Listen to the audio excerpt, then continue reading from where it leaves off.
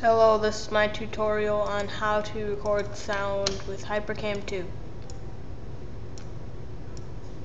Okay, so first of all you gotta open Hypercam 2.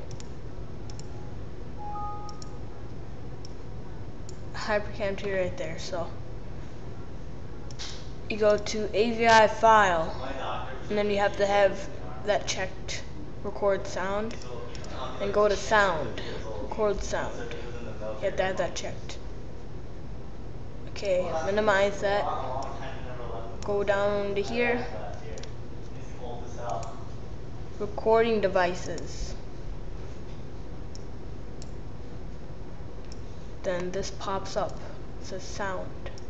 It should be on the recording tab. Well I have this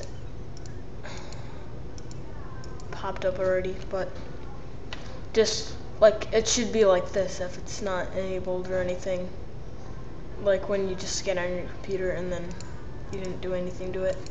So what it should be like and then put show disabled devices.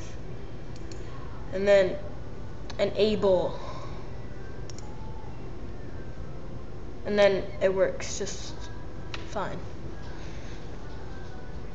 Well whenever you're whenever you're um well I'm using a microphone right now so it's you can see the green going up right? Like whenever I talk it goes up. And then the stereo mix like if you if you play something and you open this up the green will go up. So it's basically the same thing. So you click OK. It's very important.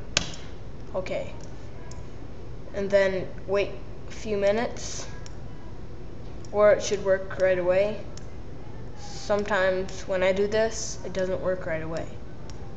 So wait a few minutes and then record. And you can record sound and like in your videos. So thanks for watching and this tutorial is for Vista.